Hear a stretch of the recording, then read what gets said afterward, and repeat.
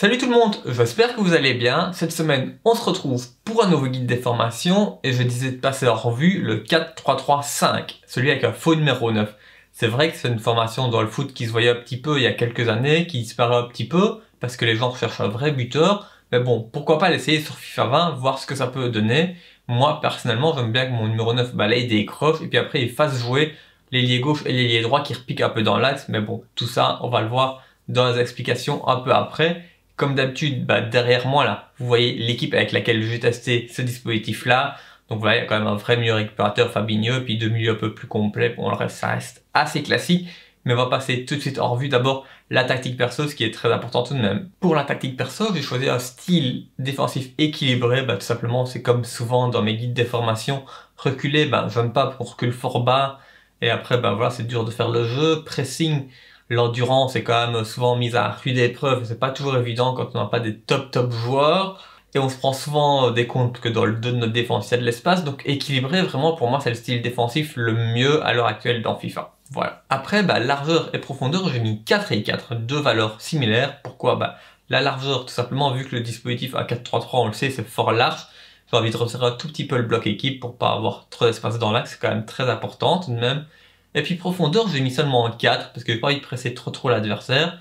J'ai pas envie de l'attendre non plus. Mais avec ce dispositif-là, avec des ailiers qui restent devant et tout ça, c'est quand même intéressant de reculer un tout petit peu, tout simplement pour pouvoir repartir vite vers l'avant si c'est nécessaire, si on est vraiment acculé en défense. Après le style offensif, j'ai mis long ballon, parce que tout simplement, long ballon, c'est un style offensif qui fait que nos ailiers vont demander souvent dans le dos de la défense en profondeur, ou bien qu'ils vont essayer de trouver notre pivot, tout simplement pour après euh, chercher des balles en profondeur pour nos ailiers. Donc voilà, c'est vraiment le style offensif qui convient parfaitement au 4-3-3-5, je pense, pour moi. La largeur, j'ai mis 6, bah, tout simplement pourquoi, vu que je devais demander à nos ailiers de repiquer un petit peu dans l'axe ou quoi, c'est bien d'écarter encore un petit peu. Enfin, ça, ça contrebalance un petit peu nos instructions, ça fait un truc assez homogène. Dans la surface, corner et coup franc, j'ai mis 4, 2 et 2, encore toujours. Bah, le 2 et 2, simplement pour pas se prendre de contre, c'est très important. Surtout euh, quand on a une phase offensive pour nous, c'est quand même moche de se prendre un goal dessus, donc voilà, c'est toujours un petit peu, ouais, on a une occasion, puis derrière on prend un goal, c'est souvent ralent, donc voilà. Et puis après, 4 dans la surface, tout simplement parce que je vais pas forcément souvent centrer avec ce dispositif-là. Donc je vais pas forcément d'avoir beaucoup de monde dans la surface. Au niveau des instructions, les défenseurs latéraux, ils resteront derrière en attaque. Tout, simplement comme nos défenseurs centraux. Ici, la défense, il n'y a pas forcément de gros changements. Donc Fabinho, notre milieu défensif, lui c'est vraiment important, c'est vraiment la pièce maîtresse de ce dispositif-là, je pense, pour moi, parce que c'est vraiment la sentinelle devant nos deux défenseurs centraux, tout simplement. Donc lui, va couvrir le centre, donc il va vraiment aider nos deux défenseurs centraux, rester derrière en attaque et couper les lignes des passes. Après, pour nos deux milieux centraux, donc en l'occurrence Pogba et Fabian Delph, on va les laisser tout par défaut. Et oui, ils vont couvrir les ailes. Tout simplement, pourquoi notre MDC, lui, couvre le centre et ils vont couvrir les ailes. Comme ça, ça permet à deux ailiers de rester devant. Et comme ça, on a quand même un petit soutien à notre défenseur latéral gauche et défenseur latéral droit.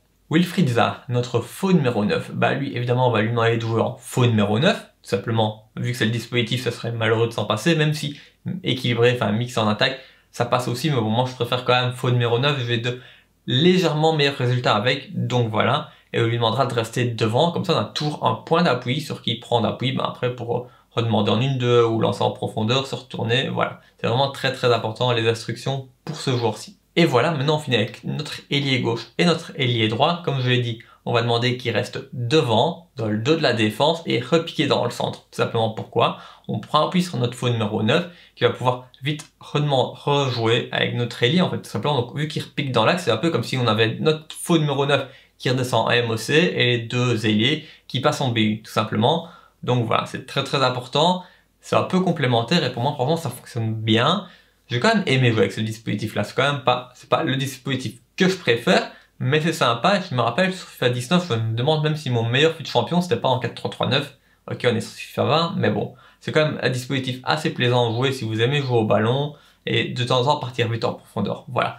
J'espère que comme d'habitude cette vidéo vous aura plu. N'hésitez pas à lâcher un like et vous abonner, c'est très important. On se voit la semaine prochaine pour une nouvelle formation. Ciao tout le monde